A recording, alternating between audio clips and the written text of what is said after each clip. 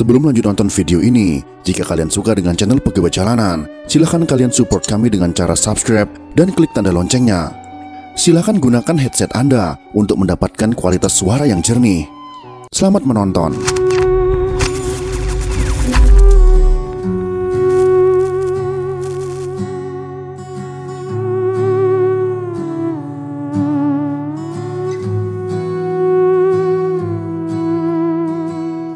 Pasukan Cakrabirawa atau pasukan pengawal presiden bergerak dengan misi menculik tujuh jenderal TNI Angkatan Darat pada pagi dini hari tanggal 1 Oktober tahun 1965. Mereka berhasil membunuh enam jenderal, minus satu jenderal yang lolos, yaitu Jenderal Abdul Haris Nasution, yang kemudian berlindung di markas Kostrad yang dipimpin oleh Mayor Jenderal Soeharto. Akan tetapi anak Jenderal Nasution yang masih kecil menjadi korban penembakan pada malam jahanam itu dan ajudan setianya yaitu Kapten Pierre Tendean gugur karena mengaku kepada pasukan penculik bahwa dirinya lah Jenderal Abdul Haris Nasution. Lalu bagaimanakah nasib pasukan Cakrabirawa yang menculik dan membunuh putra-putra terbaik bangsa itu? Dalam video kali ini, kita akan sajikan kisahnya untuk menjadi pelajaran berharga bahwa apa yang kita tanam akan kita tuai. Jika kita menanam tebu, maka kita akan menikmati manisnya es tebu. Tapi jika kita menanam pohon rengas, maka akan busuklah kulit kita terkena getah rengas.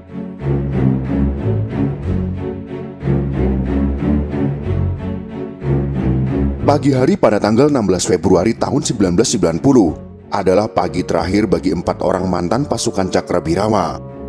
Johannes Surono, Paulus Satar Suryanto, Simon Petrus Sulaiman, dan Nobertus Rohayan dijemput dari selnya di penjara Cipinang hendak dieksekusi.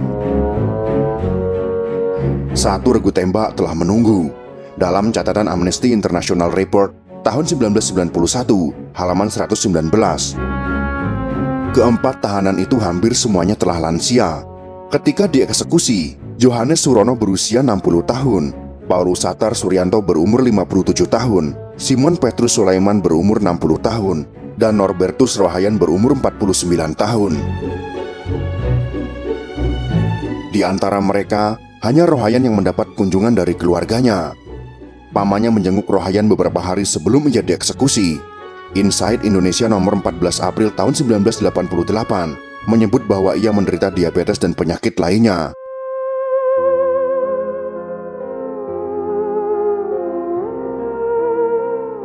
Selama dua dekade lebih, mereka ditahan rezim Orde Baru karena terlibat G30 SPKI.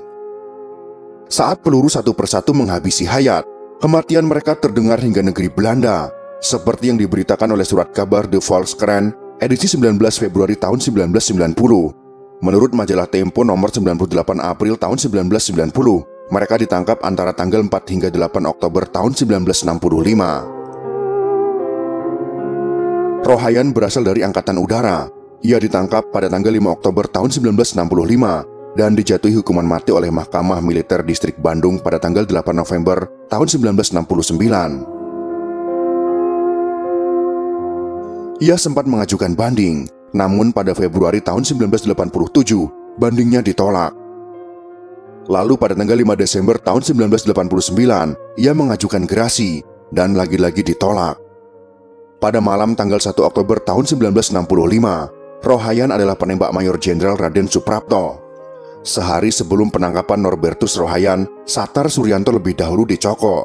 Seperti terdapat dalam gerakan 30 September di hadapan Mahmilub II di Jakarta Perkara Untung tahun 1966 halaman 21. Satar adalah sersan mayor dengan NRP 107453. Ia menjabat sebagai Komandan Peleton 2 Kompi C Batalion 2 Kawal Kehormatan Cakrabirawa yang tinggal di asrama Tanah Abang. Saat menjadi saksi dalam perkara untung pada tahun 1966, usianya sekitar 34 tahun dan masih beragama Islam.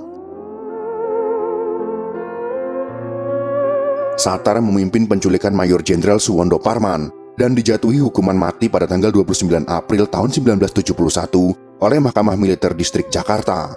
Permohonan bandingnya ditolak dan sebelum dieksekusi, ia memakai nama Paulus Satar Suryanto.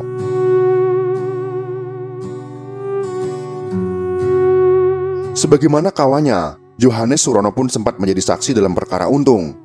Saat itu usianya 36 tahun dan beragama Islam, dengan nama Surono Hadiwiono. Lelaki kelahiran Pucung Sawit itu adalah Komandan Peleton 3 Kompi C, Batalion Untung di Cakrabirawa. Surono memimpin penculikan Brigadir Jenderal Sutoyo Siswo Miharjo dan ditangkap pada tanggal 8 Oktober tahun 1965. Lima tahun kemudian, ia dijatuhi hukuman mati oleh Mahkamah Militer Distrik Jakarta. Pengajuan banding dan gerasinya ditolak pada tahun 1986 dan 1989. Jika Norbertus Rohayan adalah penembak Mayor Jenderal Raden Suprapto, maka Simon Petrus Sulaiman adalah orang yang diberi tugas oleh Letnan 1 Dul Arif untuk memimpin penculikan petinggi Angkatan Darat tersebut. Menurut sumber pemerintah, Sulaiman kelahiran Cepu, Belora, Jawa Tengah pada tahun 1927. Ia ditangkap pada tanggal 5 Oktober tahun 1965 ketika Mayor Jenderal Suprapto dan perwira Angkatan Darat lainnya dikebumikan di Taman Makam Pahlawan Kalibata. Sulaiman dijatuhi hukuman mati pada bulan November tahun 1969 oleh Mahkamah Militer Distrik Jakarta. Seperti ketika kawannya, banding dan gerasi yang ia ajukan semuanya ditolak pemerintah daripada Soeharto.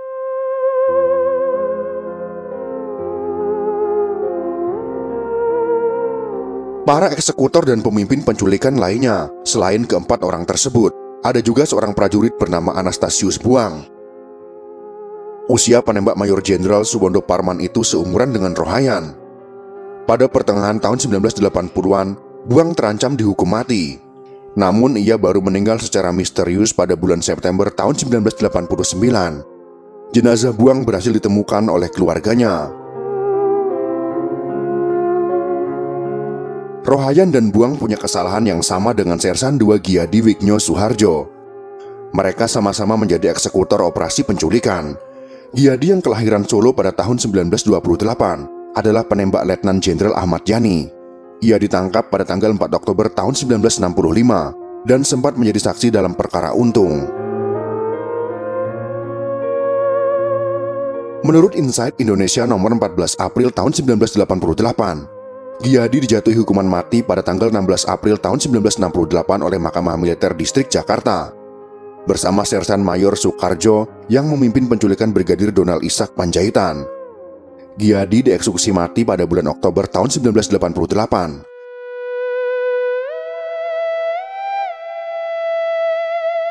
Setelah puluhan tahun menjadi tahanan Orde Baru, para pemimpin penculikan dan penembak dari pasukan Cakrabirawa itu pada akhirnya menyusul dua atasan mereka, yaitu Letnan Kolonel Untung dan Letnan Satudul Arif ke alam kubur. Untung adalah komandan Batalion Kawal Kehormatan 2 Cakrabirawa, sementara Dul Arif merupakan komandan Kompi C dari batalion yang dipimpin oleh Untung. Sebagai prajurit penjaga presiden, para sersan dan kopral yang memimpin penculikan dan penembakan para jenderal tak dapat menolak perintah kedua atasannya. Maka pada malam menjelang subuh 1 Oktober tahun 1965, mereka bergerak menculik dan menghabisi para perwira angkatan darat yang dianggap tidak loyal kepada presiden lewat isu Dewan Jenderal. Puluhan tahun kemudian, parade kematian itu mereka hadapi sendiri. Itulah pasukan penculik yang menghabisi banyak nyawa saat peristiwa berdarah G30 SPKI. Apa yang kita tanam itulah yang akan kita tuai. Semoga video kali ini dapat kita ambil hikmahnya, agar kita selalu berpikir panjang atas apa yang kita perbuat dan apa dampaknya di masa yang akan datang. Jika kalian suka dengan video ini, silahkan berikan jempol ke atas dan jika kalian menganggap video ini bermanfaat, maka bagikanlah untuk teman-teman Anda yang lain. Terima kasih sudah menonton.